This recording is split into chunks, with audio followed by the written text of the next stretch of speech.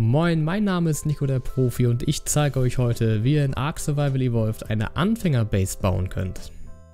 Aber wie immer fangen wir erstmal mit dem an, was wir heute brauchen.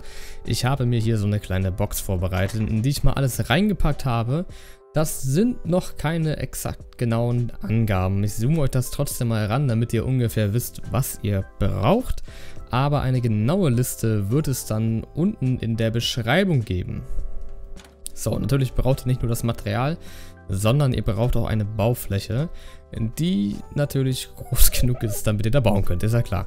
Wir fangen einfach mal an und bauen dafür erstmal so ein 3x3 Fundament aus Holz. So sieht das Ganze dann einmal aus und ich würde sagen, wir ziehen drumherum auf jeden Fall auch nochmal Holzfundamente.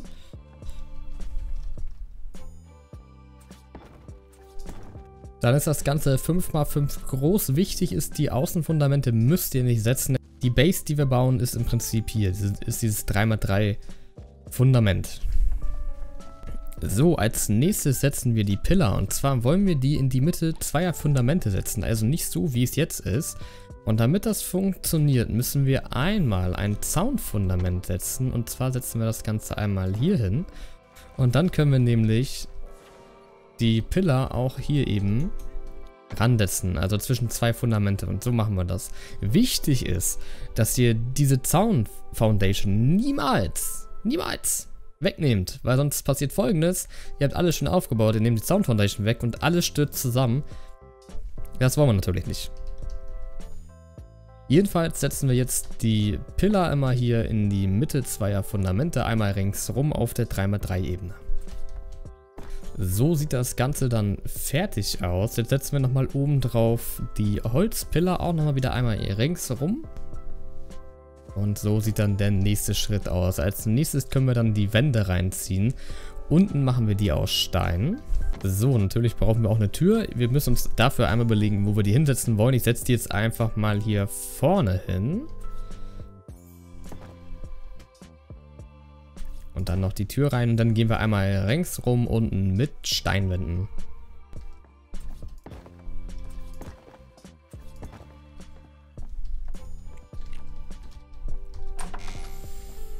So sieht das dann einmal von innen aus und dann gehen wir noch einmal herum mit den Holzwänden darüber. Und noch einmal die Innenansicht, also einmal einfach herumgehen mit den Holzwänden, dann sieht das Ganze einmal so aus. Im nächsten Schritt können wir dann einmal die Decke reinziehen. Da lassen wir dann die Mitte sozusagen offen. Da kommt gleich eine Falltür hin. Also einmal hier ringsrum gehen und einmal hier oben dann die Falltür einsetzen. Und damit wir hochkommen, setzen wir uns mal hier noch die Leitern hin. Die würde ich jetzt einfach mal hier vorne so hinsetzen. Zwei Stück am besten. Dann kommen wir hier nämlich auch auf jeden Fall hoch und das machen wir auch mal.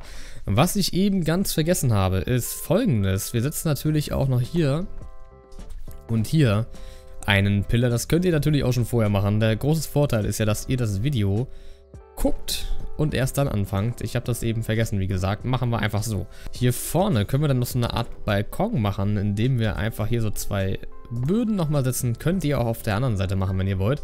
Ich habe es jetzt ähm, beim Eingang auch gemacht. Dann setzen wir natürlich hier nochmal dementsprechend Zäune hin, damit das Ganze auch gesichert ist. Und wir dann nicht hier runterplumpsen und setzen dann hier einfach eine normale Holztür rein. Einmal richtig drehen, damit sie auch richtig drin setzt, die Holztür rein und auf der anderen Seite dementsprechend eine Wand. Als nächstes setzen wir dann Dachschrägen, einmal hier und einmal da oben drüber. Und einmal hier. Auf der anderen Seite dasselbe Spiel. Und dann können wir auch schon das Dach reinziehen. Dafür setzen wir das einmal hier ran und ziehen es einmal komplett durch. Das sieht dann einmal so aus und auf der anderen Seite machen wir das natürlich auch nochmal. Und damit wir jetzt diese Lücke hier wegbekommen, können wir entweder Strohwände oder Holzwände nehmen, je nachdem was ihr wollt. Ich nehme jetzt einfach Strohwände und setze die einmal hier unten hin. Auch richtig rumdrehen, sodass das Gitter zu uns zeigt. Einmal hier hinsetzen, unten durchziehen und dann auch nochmal oben durchziehen. So ist das dann. So sieht das dann aus und wir können jetzt anfangen, hier unten die nochmal wegzunehmen.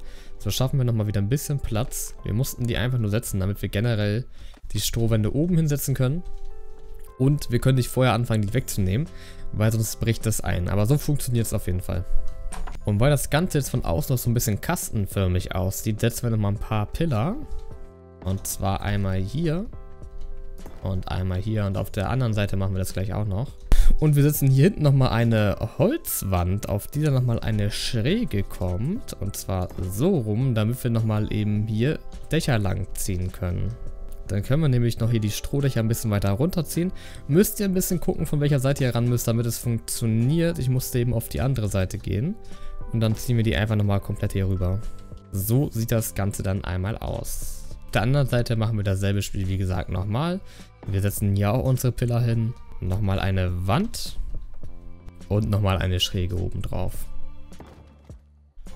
Und dann können wir auch hier nochmal das Dach ein bisschen weiter runterziehen. Das machen wir auch nochmal. Dann sieht nämlich das Ganze von außen schon mal ein bisschen schicker aus und wirkt schon gar nicht mehr so kastenmäßig. Zeige ich das einmal ein bisschen. Genau. Dann können wir als nächstes hier unten nochmal ein paar Zäune lang ziehen. Sodass das Ganze dann eben nicht so offen ist, sondern abgeschlossen ist. Das machen wir auf der anderen Seite auch nochmal. Und das machen wir einfach äh, ringsrum auch nochmal weiter. Müsst uns nur überlegen, wo wir noch eine Rampe hinbauen wollen. Also das könnt ihr natürlich auch selber entscheiden, wo ihr die dann hinsetzt. Ich würde sagen, ich setze die einfach hier vorne hin und mache soweit zu. Dann kommt nämlich einmal hier vorne eine Rampe hin, damit wir hier hochkommen können. Und dann können wir hier ganz leicht ins Haus reinkommen. Ich habe gerade nochmal zwei Zäune entfernt, weil mir aufgefallen ist, dass der Balkon noch ein bisschen schwebt. Um das ein bisschen zu verhindern, können wir einfach nochmal zwei Pillar hier untersetzen. Auf der anderen Seite auch. Dann schwebt zumindest der Balkon nicht mehr so. Und auch hier ist es so, das müsst ihr natürlich selber wissen, ob ihr da jetzt Pillar hinsetzen wollt, weil die natürlich schon ein bisschen mächtig sind. Ihr könnt auch einfach Stone Pipes benutzen, dann sieht es auch so aus, ähm, als würde der Balkon nicht schweben. Das ist dann soweit erstmal die Base, aber wir müssen dann noch ein bisschen was einrichten. Und zwar können wir hier vorne auf dieser Seite ein paar Öfen hinstellen. Ich würde hier einfach drei Stück hinstellen, da kommt ihr noch dran vorbeigelaufen. Ist zwar ein bisschen eng, aber ist auch eine Anfängerbase. Einfach einmal zwischen die Pillar. So würde das dann aussehen. Ihr kommt hier noch wunderbar vorbei und könnt dann eure Sachen hier reinschmeißen. Auf der anderen Seite könnt ihr euch einfach so einen Cooking Pot hinsetzen. Das heißt, ihr könnt hier noch ein paar Sachen kochen, ein paar Farben oder auch Kibbel. So, drin sieht das Ganze folgendermaßen aus. Ich bin das mal eben übersprungen.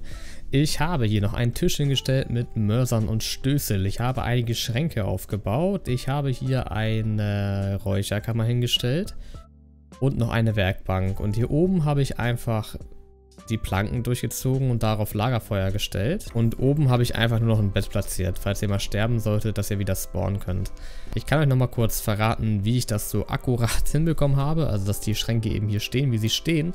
Ihr könnt euch einfach eine Leiter hier hinsetzen, diese hochklettern, wieder runtergehen, die Maus nicht mehr bewegen, den Schrank auswählen und dann könnt ihr komplett gerade den hinstellen, dass er nicht mini, also er steht nicht mal schräg.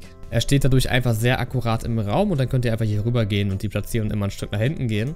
Wenn ihr auch so viele nacheinander hier hinbauen wollt, dann müsst ihr auf jeden Fall hinten nochmal eine Wand rausnehmen und eventuell auch den Zaun wegnehmen, damit ihr ein Stück rauslaufen könnt. Ähm, weil sonst müsst ihr irgendwann die Maus bewegen und dann wird es wieder schräg. So sieht das Ganze auf jeden Fall aus und ich denke, damit habt ihr eine sehr schöne Anfängerbase, die zwar innen ein bisschen vollgestopft ist, aber dafür sehr auf Funktionalität getrimmt ist. Ist so mein Motto auf jeden Fall. Die Plattform, die wir hier hinten gesetzt haben, habe ich jetzt wieder weggenommen, weil ich nicht bedacht habe, dass wir hier noch diese Wand hinsetzen müssen und es dadurch gar nicht richtig nutzen können. Deswegen ist es jetzt einfach weg. Ich bedanke mich fürs Zuschauen. Ich hoffe, das Video hat weitergeholfen. Wenn dir diese Art von Videos gefällt, dann kannst du auf jeden Fall den Kanal abonnieren. Würde ich mich super freuen. Ansonsten bis zum nächsten Mal und ciao.